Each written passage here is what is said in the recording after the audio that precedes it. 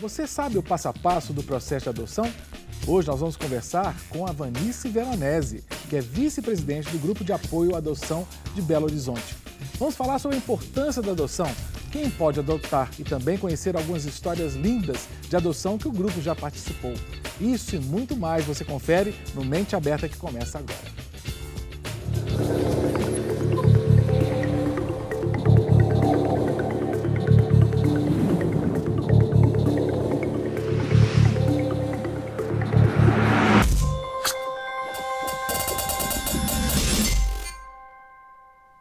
Romanos capítulo 12 diz: Transformai-vos pela renovação da vossa mente.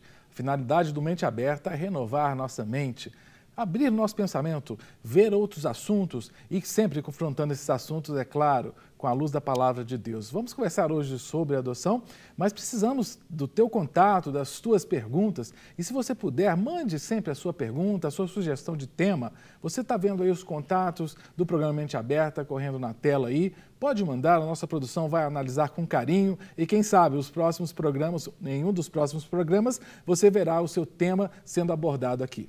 Hoje o tema é adoção, um tema muito importante e nós vamos conversar né, com a Vanice Veronese, que é uma das responsáveis ou a vice-presidente do grupo de ação com adoção. O nome, inclusive, nem é grupo de ação da adoção. Como é que é, Vanice? Seja muito bem-vinda. Obrigada. É Grupo de Apoio à Adoção de Belo Horizonte. Grupo de Apoio à Adoção de, Belo Horizonte. Horizonte. Você está no grupo desde quando, Vanice? Desde a fundação do grupo em 2010. 2010. Isso. Agora, você entrou no grupo por quê? Na verdade, o grupo iniciou as atividades porque a adoção ainda é vista como um tabu. E naquela época ainda haviam muito mais preconceitos. Né? Eu sou mãe adotiva e a gente se reuniu naquela época, nós iniciamos em, em, quatro famílias adotivas e a gente partiu da nossa própria dificuldade, de todo aquele processo que a gente tinha enfrentado, da dificuldade que a gente tinha em encontrar informações, da, da ansiedade que a gente viveu. É uma gestação também, como as outras gestações, mas que a gente sabe quando começa, mas não sabe quando é que ela pois vai terminar. é, essa gestação da adoção dura, não dura nove meses só, não? Não, infelizmente Às não. Vezes dura mais. Em alguns casos pode durar menos, em Sim. alguns casos pode durar muito mais. A minha durou três anos e nove meses. Meu Deus! Foi uma gestação bem mais longa, então é um período de ansiedade muito grande. Eu sou uma pessoa ansiosa por natureza, então, assim, diante de tudo isso, de todo aquele processo que a gente viveu, a gente resolveu se reunir e ter um lugar onde as pessoas pudessem, além além de buscar informação, buscar o conhecimento, fosse um canto também que a gente pudesse desabafar essa ansiedade, que a gente pudesse encontrar com pessoas que viveram e que vivem aquela expectativa, dividir as alegrias e como vocês também. conheceram as pessoas? Foi no fórum? Foi lá no conselho? Na, ver, na verdade, não. Eu, durante o, o período que eu vivi essa expectativa, eu comecei a ler muito a respeito, comecei a procurar muito na internet e conheci grupos virtuais de, de adoção. Nesse grupo, por coincidência, em um deles, tinha uma pessoa daqui de Belo Horizonte. E ela já conhecia uma outra mãe que trabalhava com ela também, que era adotiva e já tinha esse desejo de criar um grupo em Belo Horizonte, que já existiam pelo país afora. Existe uma associação nacional dos grupos de apoio à adoção. Que legal. E em Belo Horizonte não tinha. Então elas já tinham esse desejo e eu vinha somar com o grupo e a gente acabou juntando as ideias. O início do grupo é em 2010? Do, final de 2009, começo de 2010. Hoje o grupo é uma instituição legalmente constituída, com CNPJ, tudo direitinho, reconhecido pela Vara da Infância. A gente trabalha em parceria com a Vara da Infância. Então, isso foi a partir de 2012. Mas a finalidade do, do grupo é auxiliar é, as pessoas que têm filhos adotivos ou é instruir aqueles que pretendem ter? A gente trabalha com os dois focos. A gente trabalha com as pessoas que estão se inscrevendo. Tá? A gente participa, inclusive, do curso preparatório para adoção que a Vara da Infância oferece. A gente participa desse curso também. Então, a gente trabalha com, os, com as pessoas que estão se habilitando, porque você passa por um processo de habilitação para ser pai adotivo. Né? Não é como uma, uma gestação tradicional que você né, opta em ser pai, então você passa por um processo de habilitação e a gente trabalha com esse público e trabalha também com as pessoas que já receberam seus filhos, porque não é simplesmente acolher aquela criança. Tem, a gente tem peculiaridades que são só dessa, dessa filiação. desse tipo de... Exatamente. Agora, você falou várias vezes aqui, eu achei muito interessante a, a sua expressão. Você falou assim, eu sou uma mãe adotiva. Normalmente as pessoas falam do filho adotivo, Mas essa expressão mãe adotiva, por que você mencionou mãe adotiva? Na verdade, porque a gente está tratando do tema. No dia a dia eu sou mãe, como qualquer outra mãe. Então, como a gente está tratando do, do, tema adoção e a gente, eu vim para falar disso, então eu faço questão de frisar. Eu sou mãe adotiva com muito orgulho. Eu visto a camisa da adoção quase que em período integral. É muito difícil me encontrar sem ela. Ah, eu falto tatuar adoção na testa. Então, é, eu estou frisando muito por a gente estar tratando especificamente do tema adoção. Mas eu sou uma mãe, como qualquer outra mãe, assim como meu filho é um filho, como qualquer outro. Eu brinco muito dizendo que o meu filho não é diferente de nenhum. Ele não é verde, ele não tem anteninha, ele é um filho como qualquer filho. Tá? Então, assim, é, porque as pessoas têm, tendem a achar que o filho adotivo é diferente Isso. por ele ser adotivo, que eu fiz uma caridade por estar adotado. Uhum. Não. Eu acho que foi mais um ato de, de egoísmo da minha parte, porque eu queria ser mãe não importa a origem do meu filho.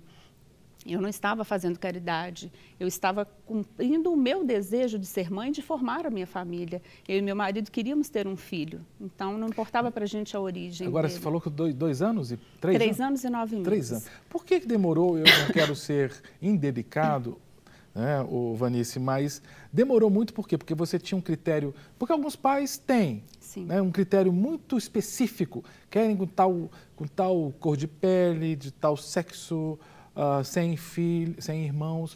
Era, foi por isso? Não, na verdade não. É, a minha adoção, meu filho hoje está com oito, oito anos, tá? então esperei três anos e nove meses, então vão 12, 13 anos atrás. Tá? É, a, nesse período não existia a nova lei de adoção, que foi a partir de 2012, então não existia o Cadastro Nacional de Adoção. Naquela época você se habilitava na sua cidade e você tinha que se encarregar de espalhar o seu processo pelo país afora. Você não era chamado no país inteiro, você só era chamado pela sua comarca, só na cidade onde você morava. O meu perfil era amplo até. É, eu aceitava irmãos, eu queria um bebê até um ano de idade, porque eu não podia gestar, mas eu queria ter o direito de curtir as fases de um bebê. Hoje eu sei que até três anos ainda é um bebê, mas naquela época eu queria um bebê até um ano e aceitava irmãos até cinco anos. Tá? E não importava para a gente o sexo, não. porque se eu estivesse gestando, eu não poderia optar pelo sexo do meu filho. Então, não importava. E cor de pele? A cor de pele era uma restrição é, porque naquela época eu não estava pronta, aliás, nós dois não estávamos prontos. A adoção, como eu falei, ainda tem muito preconceito, ainda tem pessoas que olham para você, olham especialmente para o seu filho é, com um olhar meio atravessado. Então, o meu marido brincava, ele é 14 anos mais velho do que eu, então ele ainda brincava que demorava tanto que ele ia buscar a criança na escola e ia achar que era o avô, não era o pai. tinha o preconceito da adoção, tinha o preconceito da idade dele e tinha o preconceito com a cor da criança. Então, eram muitos preconceitos para a gente ter que lidar de uma vez só. Então, a gente não se sentia preparado para isso. Hoje, depois de tudo que a gente viveu, a gente estando convivendo com o grupo de apoio, hoje a gente não teria problema nenhum com a cor, não seria problema para a gente. Hoje, com, com, as crianças que estão no grupo, eu não consigo mais ver a diferença da cor, para te falar uhum. a verdade. Para mim, são, são todos lindos, são todos meus. Eu falo que eu sou a avó do, do grupo, porque todas as crianças que chegam para mim são todas minhas. Agora, qual que é o maior dificultador na adoção de, um, de uma criança? É a idade, é o sexo, é a cor da pele, é a questão de, de, de um problema de saúde? Qual é? Depende do ponto de vista. Se você está olhando do ponto de vista da criança, do adotante ou da justiça. Tá? É, são, são, várias questões que, que envolve. Eu acho que é direito do adotante ele ter o perfil dele. Cada um tem seu próprio limite. Como eu falei, no meu caso, naquela época, eram muitos preconceitos para poder ter que lidar. Tá? E a gente não estava preparado para isso, era o meu limite. Então, cada um tem que respeitar o seu próprio limite, até onde ele tem que ir. A gente faz um trabalho, sim, de ampliar o perfil de quem está adotando, porque não é só o, o, bebê que pode ser amado, não é só o bebê que, vai, que vai, pode se transformar no seu filho, não. Tá? Basta você estar tá com seu coração aberto, com a sua mente aberta. É, amor não tem cor, não tem idade. Filho não tem cor, não tem idade. Seu filho pode estar com 30 anos que você ainda vai querer dar colo para ele. É verdade. Vai ser sempre um bebê para a é gente. Né? Eu brinco com meu filho, olho para ele e falo, cadê o meu bebê? Ele, ele olha para mim, está aqui, mamãe. Então, ele vai estar sempre lá dentro do seu filho. Seu bebê ainda vai estar sempre lá. Ele pode estar com 60 anos, você está lá com 100, mas seu bebê está ali dentro. A gente faz esse trabalho, sim. mas também é legítimo o seu desejo de querer ter um bebê. A gente tem que respeitar isso. Então, isso é um dificultador do ponto de vista a é, idade da criança. A idade, a cor da pele. Tá? Isso é um dificultador na mente de algumas pessoas, sim, mas também é um direito dele, de querer respeitar até onde ele pode ir. O adotante ir. tem o direito. do adotante. Dizer, eu não dou conta, eu não consigo. Exatamente. Porém, a, a, do ponto de vista do, de quem está habilitando, vamos dizer, do ponto de vista da vara da infância, isso é um dificultador imenso. Eu imagino. Porque os abrigos estão abarrotados de crianças maiores. Então, é um dificultador maior do ponto de vista da vara da infância. Mas, do ponto de vista de quem está adotando, não adianta você querer fazer uma lavagem cerebral e te obrigar a ter um filho a qualquer preço. Não é por aí. O filho é para a vida inteira, é um compromisso é. para a vida toda. Não é um brinquedo, né, Vanice? Sim. Porque eu já ouvi relatos é, tristes de, de, de pais que adotaram, mas a criança ficou alguns meses e depois os pais desistiram e devolveram a criança como você devolve um aparelho é, que, que, não te satisfez, né? Sim. Isso, isso aí é, é, lamentável. Vocês tratam de casos assim? Infelizmente, isso ainda acontece. Tá? E é, aí é um, um, caso, cada caso tem que ser tratado de uma forma individual, porque existe questões sim, em que o casal não estava preparado para receber ou para lidar com aquela situação. Existem casos absurdos, tá? de, de casos, por exemplo, eu estava comentando lá fora agora há pouco de um caso, por exemplo, de uma menina de seis anos que foi devolvida porque ela comeu a ração do cachorro. Que criança nunca comeu a ração do cachorro, gente? A gente já foi criança, já teve vontade de experimentar a ração Deixa eu dizer uma cachorro. coisa, Vanessa, não é só criança que come ração de cachorro, não. Tanto de adulto que come e gosta. Então, assim, quem não estava pronto para lidar com essa criança? É uma adoção tardia? Claro, gente, uma adoção tardia precisa de um pouco mais de preparo de quem está adotando. Criança dá trabalho, não importa a origem dessa criança, se ela saiu da minha barriga, se ela veio de um abrigo, se ela tem um histórico, um passado de sofrimento, é lógico que ela vai dar trabalho. Em qualquer, em qualquer, qualquer criança momento, dá qualquer trabalho. ser humano dá é. trabalho. Então, assim, quem não estava pronto para lidar? É, é os pais, né? Esse casal. Potencial. Então, aí a gente vem uma outra questão foi uma falha na preparação desse casal? Esse casal não está pronto para ser há, pai? Há um curso prévio, você mencionou. Sim, mas também é um curso muito falho, tá? não só aqui, é falho no sentido de que é muito curto, tá? Não é que o curso seja falho porque o curso é, é fraco e tudo, não. É o tempo que é muito curto. Sei, muito intensivo. Isso, são, são duas, duas, são três horas de duração de curso, duas vezes, duas quarta-feiras seguidas. Ah, não dá tempo. Não dá tempo de passar todas as informações. Por isso a necessidade de você ir atrás. É você que tem que se preparar. Tá? O grupo de apoio também está aí para isso. Participar das reuniões, conhecer o dia a dia, ouvir as palestras, ler, se informar. Quem, tá, quem tem que se preparar para essa realidade é você. É você que tem que estar pronto, especialmente no caso de uma adoção tardia, é você que tem que estar pronto para dar a mão para aquela criança e falar com ela: o que passou eu não posso apagar. Mas a gente está aqui, daqui para frente, eu não posso apagar o seu futuro, mas posso fazer um presente melhor. Uhum. Apagar o passado? Fazer... Desculpa, apagar o passado, mas a gente pode é. fazer um futuro melhor. falando em passado, Vanice, há alguns, dois ditados populares que acabam influenciando muitos casais é, no momento de adotar e de não quererem crianças com uma certa idade. Aquele ditado que filho de peixe, peixinho é, e pau que nasce torto, morre torto. Na realidade, isso acaba prejudicando não é só crianças com mais idade, acaba prejudicando a adoção, porque Sim. alguns casais acham o seguinte: eu é, trazer para dentro da minha casa uma criança que foi gerada de um casal que eu não conheço, eu posso pegar uma criança que, de um casal que tinha problemas sérios de comportamento, de caráter e coisas do tipo. Ah, até que ponto isso prejudica o processo de adoção? Prejudica no sentido como você mesmo falou, né? É, da pessoa ter a mente fechada e o coração fechado de achar que a biologia é que determina tudo, né? Que, que a, a índole da pessoa vem da genética e não é isso. Né? Tem um, uma outra coisa também que diz que o homem é produto do meio. É. Né? Então, se ele está vivendo bem, se ele está sendo é, a partir do momento que ele veio para sua casa, ele veio para sua família, se ele sabe que ele é amado, que ele é desejado, você é que vai mostrar para ele o caminho que ele vai seguir. Não importa aquilo que passou na vida dele, é lógico que ele não vai esquecer aquilo que ele viveu. É lógico que, né, vamos, vamos pegar, por exemplo, vamos parar então a adoção tardia, vamos falar de um bebê. Sim. Né? Um, um, bebê. Não é porque ele foi é, gerado ou se não houve o desejo de que ele fosse ser gerado, né? veio de uma gravidez indesejada e por isso foi encaminhado para adoção. Não é isso que vai fazer com que ele não seja amado na minha família. Né? Eu não sei a origem do meu filho, por exemplo, e nem por isso meu filho é um mau caráter, nem por isso ele é o, o bandidinho da escola, por exemplo, muito pelo contrário. Né? Não é porque é meu filho, mas ele é uma criança muito querida na escola, ele é um bom aluno, ele é uma, uma criança muito querida no meio onde ele vive. Tá? Ele não é um, um, um. Lógico que eu costumo dizer que o filho da gente é sempre tudo, ele é mais. Né? Ele é o mais bonito, mais esperto, mais inteligente, mas é o mais levado, é o mais sapeca, é o mais tudo, ele é o mais. Né?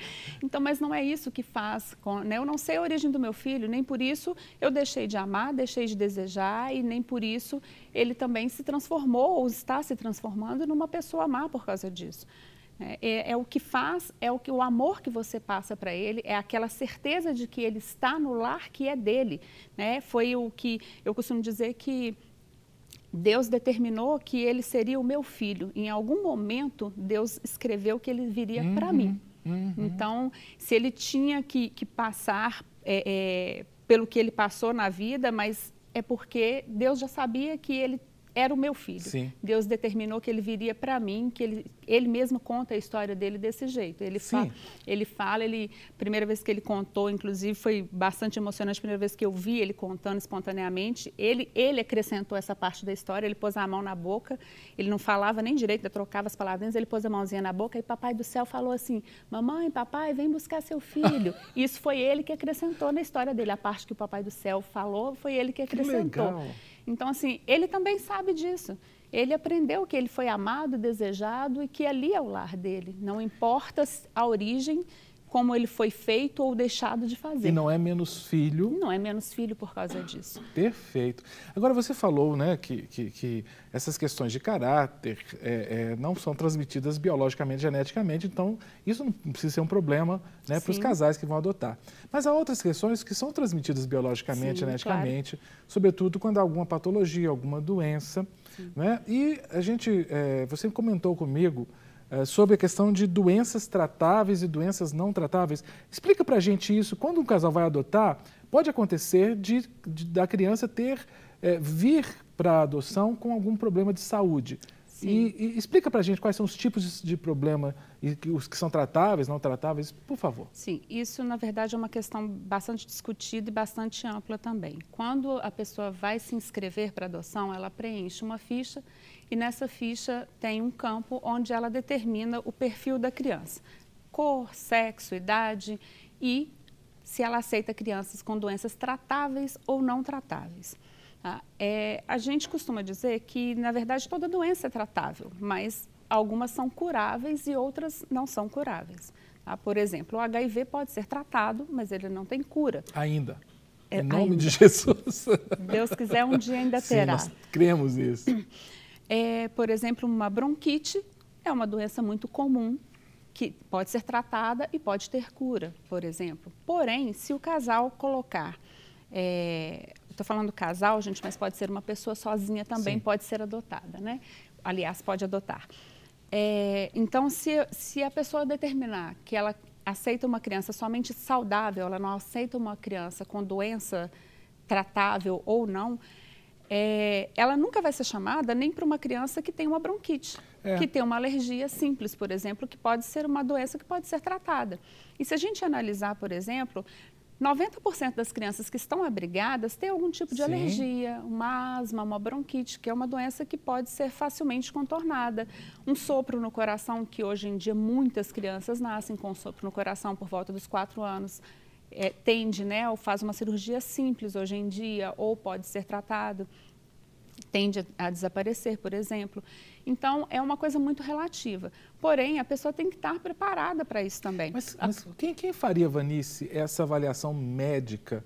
A, a, vara da infância, ela, ela é, é, o órgão que intermedia os processos de adoção. Uhum. O, o, casal interessado em adotar, ele que tem que procurar não. um médico, como é que é o processo? Não. Toda criança, mesmo ela nascendo ou não na maternidade, quando é um bebê recém-nascido, ela passa pela, se, por exemplo, se a criança antes dela ir para a vara da infância, se ela nasceu na maternidade, ela faz todos os exames que qualquer bebê que nascer numa maternidade vai fazer.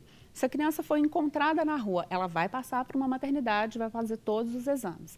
Se a criança está abrigada, ela tem um médico que acompanha e todo aquele relatório, tudo o que souber sobre aquela criança, dela. a vara da infância vai informar para o interessado em adotar aquela criança. Todas as informações a equipe técnica passa para o casal antes de conhecer a criança. Então, se ela tem ou não alguma doença, se ela precisa ou não de um acompanhamento, a equipe técnica vai te informar antes, que, antes de você conhecer a criança, inclusive. Ah, tá. Antes de você conhecer a criança. Então, primeiro você vai saber todo o histórico daquela criança. Toda a história dela, se ela veio antes de uma família, a história daquela família, os possíveis disputas jurídicas que podem haver, se vai, existe um conflito, se existe ainda a possibilidade, o risco jurídico de você perder ou não aquela criança, se a criança já está destituída, se ela tem alguma doença, se você vai ter que dar sequência no tratamento, todas as informações possíveis a vara da infância te informa antes. Perfeito. Agora, a expressão buscativa, o que quer dizer a expressão buscativa no processo de adoção? A buscativa, na verdade, é um trabalho que os grupos de apoio fazem é, em parceria com as varas da infância. Tá? Em Belo Horizonte, inclusive, tem uma portaria do juiz que autoriza o grupo de apoio a fazer esse trabalho.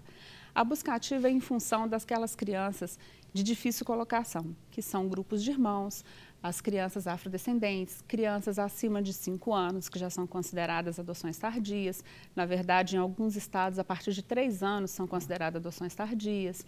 Crianças com doenças é, trata não tratáveis, no caso, é, síndrome de Down, HIV, né, são doenças mais difíceis. Então, são crianças de difícil colocação em família substituta família substituta, que é um termo que a gente gostaria que fosse substituído, inclusive. né? Porque nós é não... família. É família, nós não estamos substituindo ninguém. Né? Mas, enfim. Então, essa busca ativa funciona da seguinte forma. A vara da infância, às vezes, tem... Vamos te dar um exemplo prático. Tá? É, no final do ano passado, a Vara da Infância nos pediu apoio para poder ajudar a localizar uma família que aceitasse uma criança com HIV e hidrocefalia. Uau. Uma menininha de um ano e três meses. O que, que acontece? A vara da infância, primeiro, faz uma procura em, no CNA. Ela busca todo o cadastro nacional e, às vezes, não encontra no cadastro nacional. Não encontra por quê? O cadastro nacional ele ainda é muito mal alimentado. Existem comarcas no país que ainda não são nem informatizadas, informatizadas é. então não tem como esse dado estar lá. Existem comarcas, às vezes, que tem uma assistente social, uma psicóloga e um juiz itinerante. O juiz faz cinco, Eventualmente seis... Eventualmente ele vai lá. E só ele tem a senha para poder acessar o CNA. Ah. Então é impossível que o CNA esteja atualizado. atualizado. Uhum. Então, às vezes, os dados dos adotantes não estão no CNA. E os grupos de apoio, a gente tem contato com o país inteiro. A gente recebe informação dos outros grupos de apoio, a gente recebe informações dos adotantes que entram em contato com a gente, pelo Facebook, pelo WhatsApp, por e-mail, enfim. Então, a gente acaba tendo um contato muito amplo. Então, a Vara da Infância nos pediu apoio para tentar localizar uma família, uma pessoa que tivesse condições de receber essa criança, tivesse condições de vir até Belo Horizonte, enfim. E graças a Deus a gente conseguiu uma que família que aceitasse e recebesse essa criança. Sim, e ela tinha um perfil, inclusive, para criança especial. Olha ela que queria, ela, ela fez um trabalho na paz, se não me engano, e ela se encantou por essas crianças e ela queria uma criança assim. E a menina evoluiu que, se a gente olhar, você não acredita no tanto que essa menina evoluiu. Era que assim. Loucura. É, a gente fez um caminhamento também, no final foi uma sequência. Eu não consigo lembrar o, o que, que era que essa criança tinha. Hum. Ele tinha, um, um, além de um problema respiratório, ele tinha um problema também, eu não lembro o nome da doença, é uma doença complicada. Uhum. Eu acompanhei esse casal, veio do interior, eu acompanhei na vara da infância, eu acompanhei, fui ao abrigo com eles, eu fui ao médico com eles. E quando a gente saiu do, do, do consultório, eu tive a impressão de que eles não iam mais aceitar a criança, assim, pelo tanta coisa Tanta que a, a médica tinha falado. Mas eles saíram dali tão certos e tão incrível. acesos pelo amor que eles já tinham criado por aquela criança. Incrível. E era uma, uma ele tem um, um problema que não tem cura, né? Ah. E ela não deu muita expectativa também, não. Ela foi super realista, sabe? É uma excelente pediatra que é mãe adotiva também.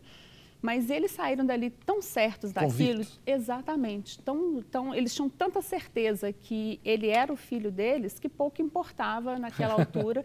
E ele desenvolveu tanto, está falando, não tinha expectativa de que fosse desenvolver, está falando, está andando. Então, é o amor que aquela família dedicou, é a atenção, é o carinho, é os cuidados que aquela família dedicou àquela criança, que possivelmente a própria pediatra falou com a gente: olha, o que determina é Deus pela medicina, a expectativa é essa, mas é Deus que vai mandar. Deus está no controle. Acima Vanice, de tudo. Quero agradecer demais, querida. Foi muito bom. Um grande beijo no Lucas. Obrigada. Né, no teu marido. Que Deus abençoe vocês Amém. muito. E olha, Vanice, adotar é ter, é ter a ação que Deus teve. A Bíblia diz que nós, cristãos, cristãs, nós somos filhos de Deus, sim, mas somos filhos adotivos. E Deus, no seu grande amor, nos adotou. Olhou para a gente e falou: Eu quero que esse seja meu filho, eu quero que seja minha filha. E hoje, nós não somos filhos adotivos, não, nós somos filhos de Deus, nós somos parte da família de Deus. Que você tenha sido impactado por essa entrevista como eu fui, né, e que realmente a adoção possa crescer no nosso país e que tantas crianças, tantos adolescentes possam encontrar o lar que tanto merecem. Para receber todas as novidades do canal, inscreva-se e se curtir o vídeo, clique em gostei. Aproveite para acompanhar a Rede Super nas redes sociais.